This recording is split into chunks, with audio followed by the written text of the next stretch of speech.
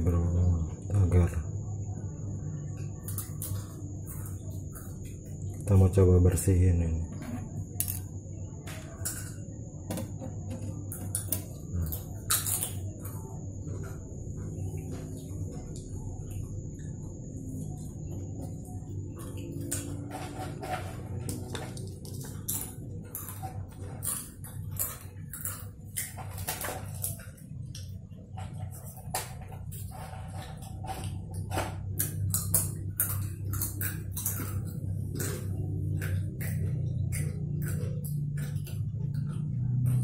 ini bro kuning kuning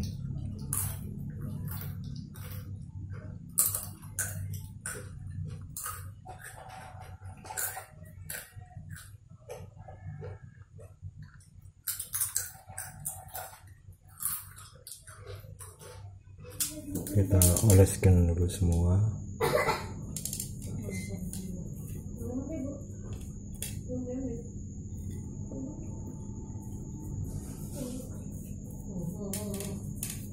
oles saja dulu.